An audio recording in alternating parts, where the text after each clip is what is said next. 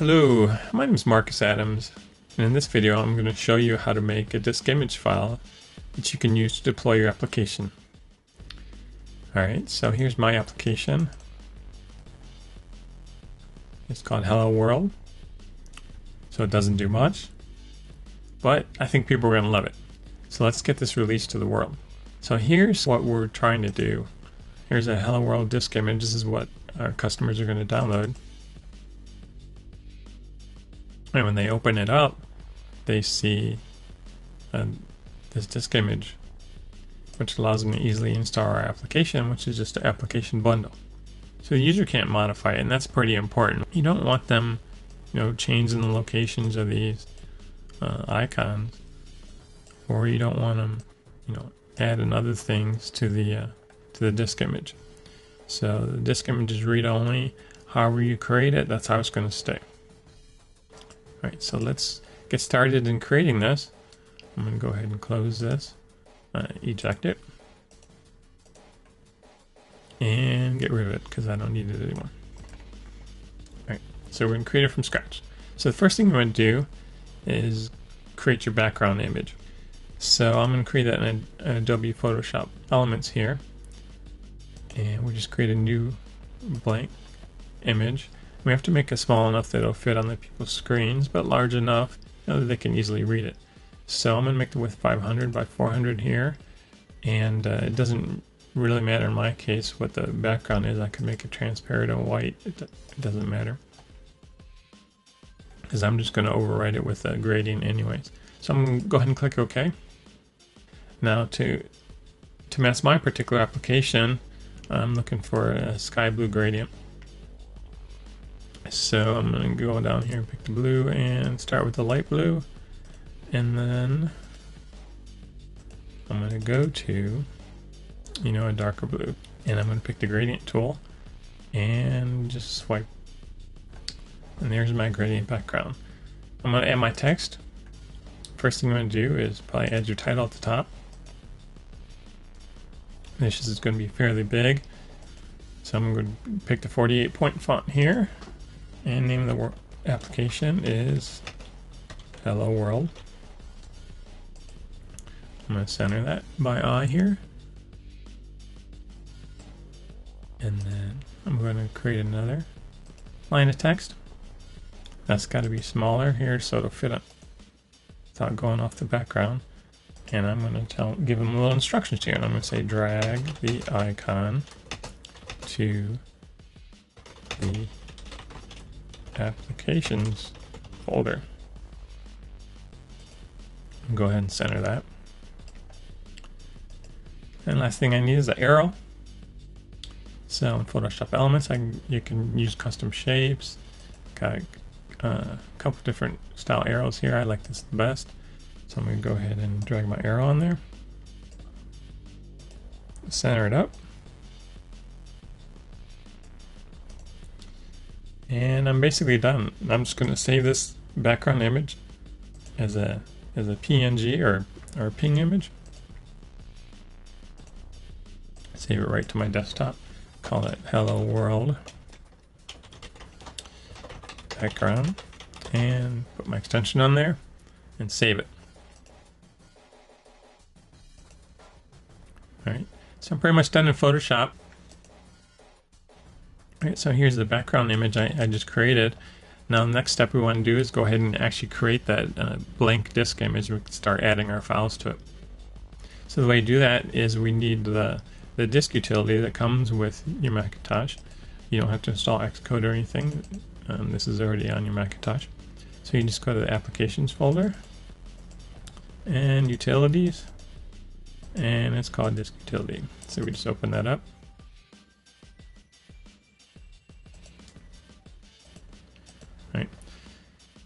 So first thing we do want to do is create our new uh, new image here. So we click the new image button. All right, and the save as, this is going to be the actual file name of the disk image. So you generally want to put the name of your application and uh, you know and the version. So you're going to release that different disk image, you know, for each version. But then the name of the disk image, this is how it's going to show when they uh, when they mount this disk image. Uh, this is going to be the name of it on their desktop. So you want to you know, go ahead and just name it the name of your application so they know uh, what, what the disk image is when they have it open. Now the size here it isn't really that important now because you're going to compress it. Uh, so if it's bigger than you need, don't worry about it. But you need to make sure it's at least big enough, you know, to fit the da the data that you're going to put on there, which is the size of your application bundle. So you can you can you know make it pretty big here, but uh, the 100 megabyte uh, default is fine for me. The rest of the settings we're just going to leave default. It is important to make sure though that the the image format is read write care because we do need to add files to it. And actually, since this is my read-write version and not my final version, I'm going to go ahead and just um, put the RWs on there just because I'm going to have two different versions on my desktop and I know that this is the one I can write to. So I'm going to go ahead and create that disk image.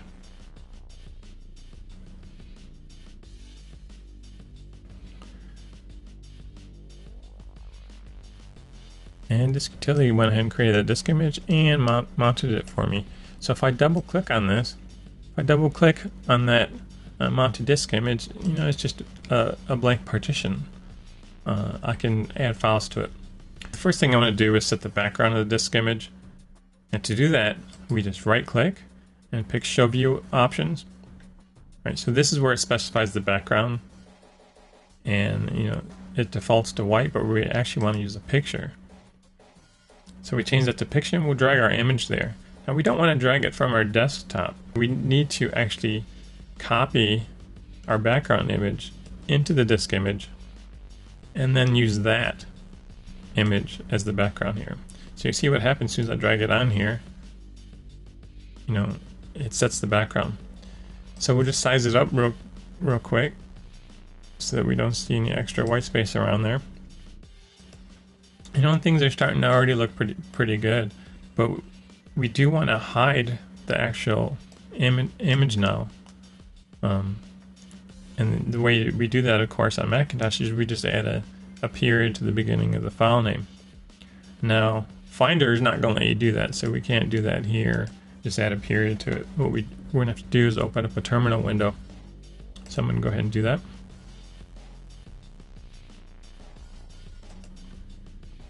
And to get to our mounted volume, of course, we go to our volumes folder and then our volume is right there. So we just change directory into there. We can see the, the only file on there so far is back, our background image. We just rename it. And we really could name it to, to anything we wanted to. Um, as long as we put that period at the beginning. Now notice that even though we we renamed it, uh, Macintosh didn't wasn't fooled. You still have your background image, uh, even though the the file is no longer visible. The background's still visible. All right. So another thing you want to do here on the uh, the background is you want to set it to always open in icon view. If the user changes the view to show you know to show the show it in list view you, you don't really want to let the user do that. So to override it and always open it in icon, in icon view, you just you just click this checkbox. Now another thing is the default icon size is rather small, so you want to change that from 48 to uh, 104, and you're actually done here. Uh, do not click use the defaults. There's no reason to do that. If you do that, uh, every folder on on your Mac is gonna, are going to use these defaults. So what's cool though is the rest of these settings um, are actually stored with this disk image. So when you give that to your customers, they're going to be stuck with these same settings, which is exactly what we want. So actually we're done with that. We're going to close it. And now we just need to drag our application onto there. So this is our application bundle uh, actually has a you know a, a app or app extension, and we're just going to copy it onto our disk image. So that that part's done. Um, we just need to create a link to our applications folder. Alright, so in Windows we call them shortcuts, but in uh, on Macintosh we call them aliases. We want to create an alias to our applications folder and put that on there. And the easy way to do that is open up uh, applications folder in Finder, and we do a command option drag. And you can see that the drag image there changes to a little arrow which shows that i am dragging an alias to the applications folder and just drag it right on there. Another thing you can do um, if you can't quite figure out how to, how to control click and drag to create that alias is you can just right click on the applications and pick and make alias. Problem with that of course is that well it just added that name alias on there so after you drag it on there you'd have to rename it of course, get rid of the alias name.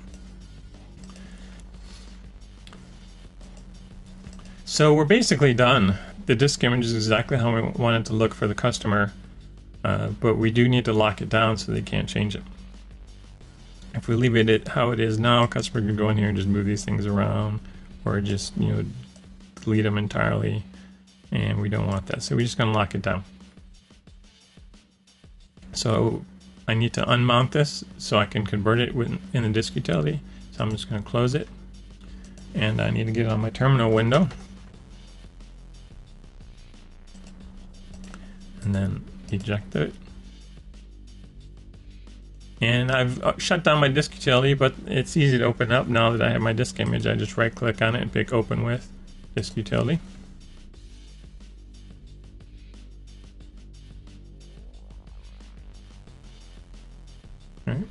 So I select my disk image here in disk utility and all I do is click the convert button now.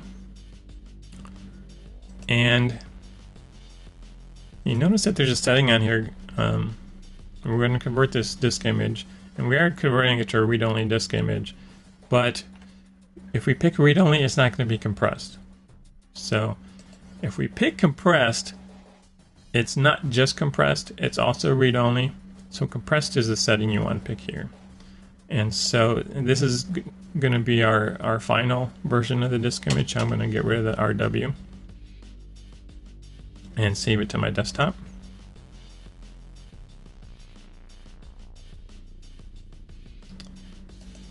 We're done.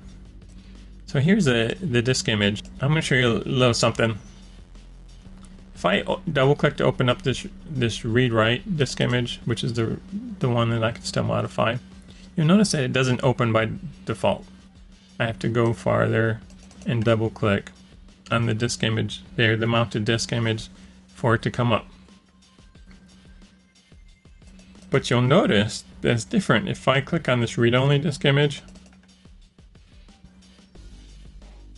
it opens right up. And the reason it does that is because this is the standard way to release an application bundle in Macintosh they say that if your application is self-contained in an application bundle, that this is the way to do it. And because of that, it recognizes a read-only disk image as something to immediately open up so the user can view it. So there you go. We're, we're basically done. You got your disk image. Uh, give your application to the world. Let them install in their applications folder. All I have to do is boom, and they're done. So I hope you enjoyed this video. Um, if you're wondering how I created the icon for my application bundle, uh, look for the another video where I show you how to create that icon. And in future videos, I'm going to show you how to create a package if you are distributing more than an application bundle. But for now, we're done. Thank you.